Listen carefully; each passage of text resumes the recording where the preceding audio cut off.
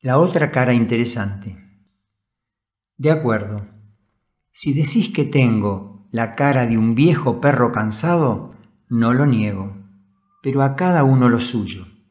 Cuando el turno te llegue, de nada servirá mirar para otro lado.